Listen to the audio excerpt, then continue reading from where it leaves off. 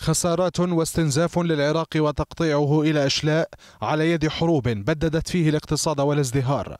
نتجت عن هذا كله جثث هامدة وسيرة دم لم تتوقف. لكن قيمة الدم العراقي الغالية يرد عليها اليوم القائد العام للقوات المسلحة بكلمة كفى. فالمقابر تحدث غصة والشباب يسقطون فداء بأرواحهم للبلاد في سبيل الحرب على الإرهاب. كلمات أكدها مصطفى الكاظمي كقائد للقوات المسلحة ورئيس وزراء في حكومة تتحدى رؤوس الإرهاب الكبيرة بإعلان استمرار العمليات الأمنية الاستباقية في كل يوم. مؤخرا أعلنتها مدوية كاسرة ظهر خلايا صناعة الموت بالقضاء على والي الجنوب والقضاء على والي العراق أو كما كان يسمي نفسه.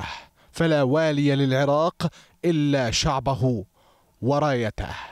عمليات بطولية عراقية ترفع اسم العراق وتعلي لغة النصر وهزيمة جماعات الإرهاب والقضاء على جماعة كاملة ومقتل أكثر من 42 إرهابيا جنوبي نينوى. ينادي العراق فيلبي أبناؤه جيش نحو معركة تطهير الأرض من إرهاب وتسوية حسابات.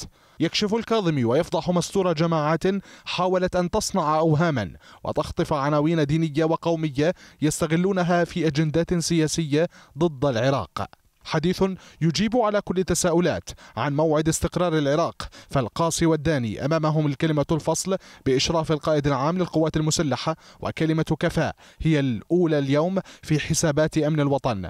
كفى للموت كفى للخسارات كفى للسماح بتحقيق نفوذ جماعات تشوش عاطفة العراق باسم الدين والقومية. ونداء ضروري بلسان الكاظمي أن العراق دولة لا تبنى إلا بمساندة العراقيين للمؤسسة الأمنية فالوطن مسؤولية مشتركة لتجاوز المسيرة بعزم وثبات ونجاح الانتخابات نزاهة وشفافية وعهد يوم جديد يعيد ما قد مات.